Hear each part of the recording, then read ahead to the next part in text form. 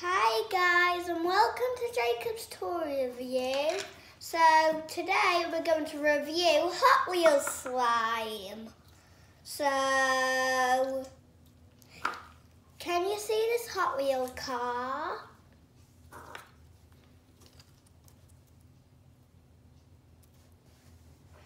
And we're going to show you what this slime can do. So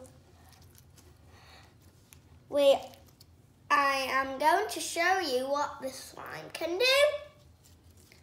Look, you can tip it up and it, you can tip it upside down and it won't come off, guys.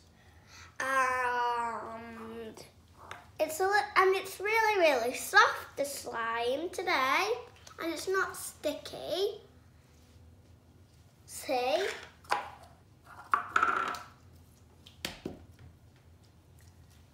And you, you, it, it's like easy to pull.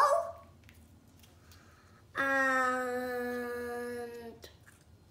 um, you can play with this, just the slime if you want and you could just play with the car if you wanted.